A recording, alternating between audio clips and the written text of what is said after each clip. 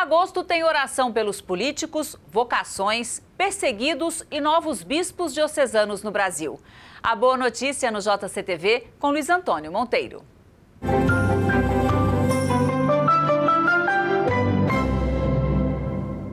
Paz e bem.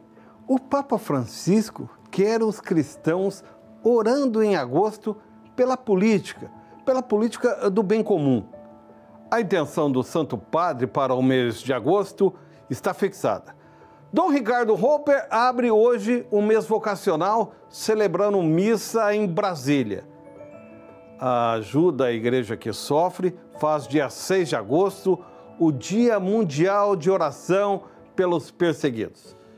Dom Pedro Stringini, em Mogi das Cruzes, celebra 42 anos de ordenação sacerdotal, dia 9. Dia 10 de agosto, Dom José Otácio Oliveira Guedes será ordenado bispo em cerimônia em Niterói, nomeado para auxiliar da Arquidiocese de Belo Horizonte. Celebração ao vivo na Rede Vida de televisão. Dom Bruno Eliseu assume a Diocese de Ponta Grossa, no Paraná, no dia 10 de agosto. Dom Geraldo dos Reis Maia toma posse como bispo da Diocese Mineira de Araçuaí no dia 17 de agosto. Pauta movimentada na igreja no início de agosto. Luiz Antônio Monteiro para a Rede Vida. Paz e bem.